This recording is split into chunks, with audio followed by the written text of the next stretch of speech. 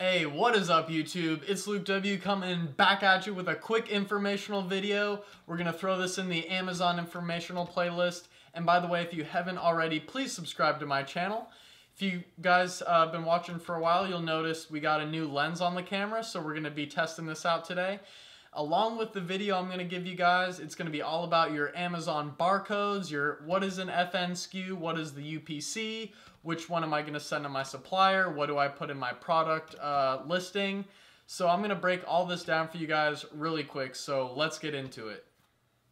Alright guys, now let's start out with what a UPC code is. If you don't already know, this is a unique product code. So every product ever invented that's sold in a store will have that little barcode on the back. That's what the UPC code is. Now in terms of Amazon, this is the code that you're going to need to just get one of and you're going to put it in your product listing under the detail page where it says product ID. That's all you need your UPC code for. So once you get that in there, uh, I actually got mine at, uh, where was it? Barcodesmania.com, but they actually charge $5 for a barcode.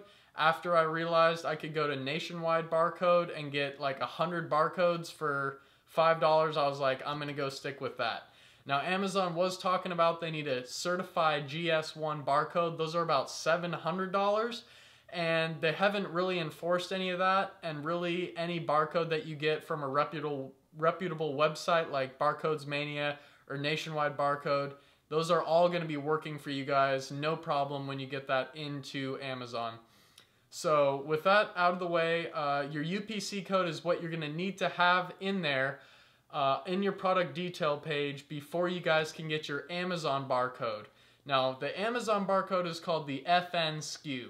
This is what you're going to be sending to your suppliers so they can put it on each of your products and Amazon will recognize your product when it is in the warehouse. So the reason that you need to create your listing and get your UPC code in before you get your Amazon barcode is because you'll have to have a created listing all set up so then you can uh, see a little checkbox next to it in your inventory section.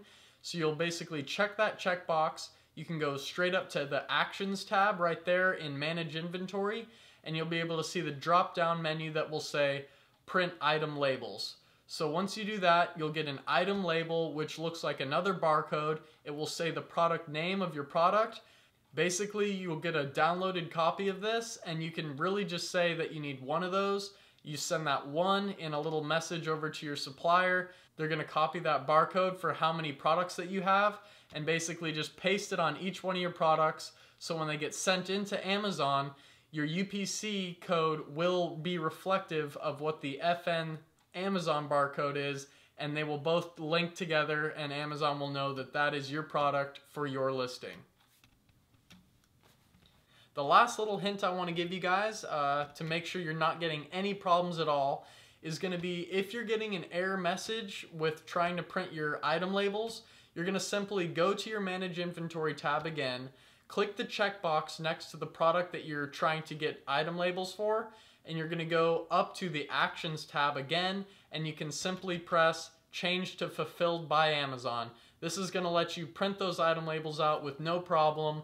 After that, you're just gonna send those item labels to your supplier uh, in a little message on WhatsApp or whatever you preferred, and they're gonna put it on each of your products and you'll be good to go. So that's all you need to know for your Amazon barcodes really just breaking it down for you guys one more time, putting that UPC code into your main product description page under product ID is all you need your UPC code for that you bought on Barcodes Mania or Nationwide Barcode. After you have your UPC code all set up, you're now able to go print your item labels for your product that you'll send to your supplier. This is the FN SKU. You're gonna get that simply like I told you guys, press the checkbox next to the product that you want to print your labels for, go to the Actions tab in Manage Inventory, and you're able to pull up the drop-down menu and simply press Print Item Labels. So I hope this quick video, guys, helped you out. Uh, the lens, I hope, was pretty cool for you guys, but stay tuned for the next videos. Give this video a little thumbs up, and uh, we'll see you guys in the next video. Talk to you soon. Peace out.